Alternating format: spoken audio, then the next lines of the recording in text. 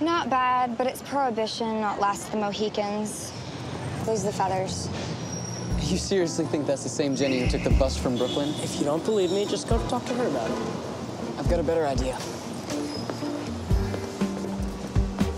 Did you make your own costume, Jenny? No, it's vintage. It's Gaultier. no way. What's your problem? Him. No one's allowed to sit higher than you.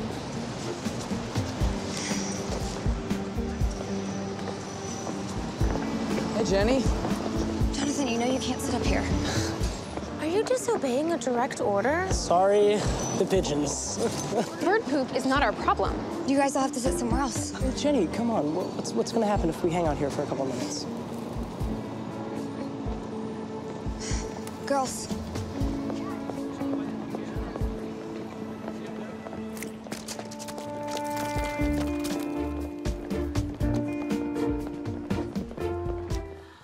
Eric, my darling, are you sick?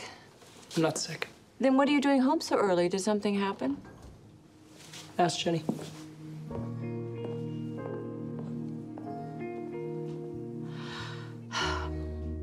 I'll handle this one.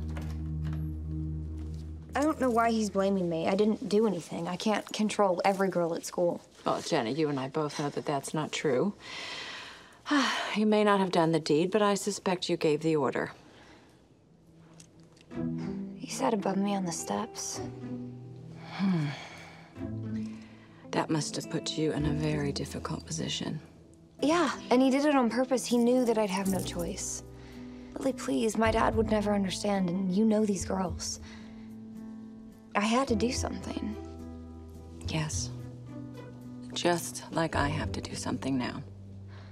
But you and dad already gave us permission to go to Chuck's tonight. Well, and you can, as long as Eric still wants to go with you. And you make sure that all of your so-called friends apologize to him when he gets there. Fine.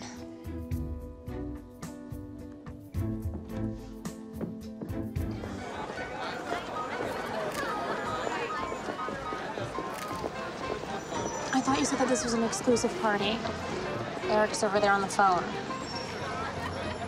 Uh, yeah, he routed me out to our parents, so now I have to be nice to him. At least to his face. Sounds like you have a plan. I do. And one that won't get me caught this time. Follow me.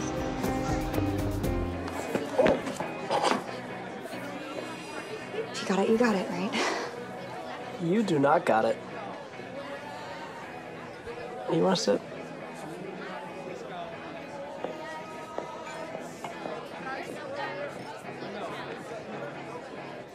I'm sorry you had to sit down with my mom. Yeah. Well, she clearly has some experience in queendom. Well, I'd take a run in at the steps with you over her any day. Can we just agree not to say the word steps anymore? I'd like nothing better. Uh, without Jonathan here, I know no one. Yeah. Neither. Where are all your handmaidens?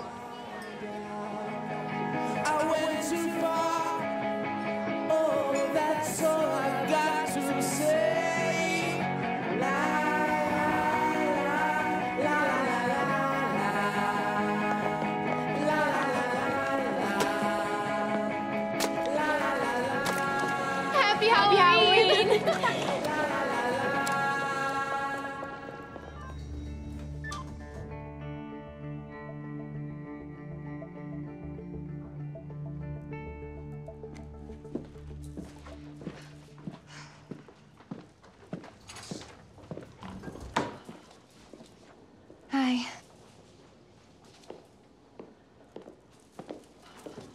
So I guess that means you heard about Jonathan. Guess it does.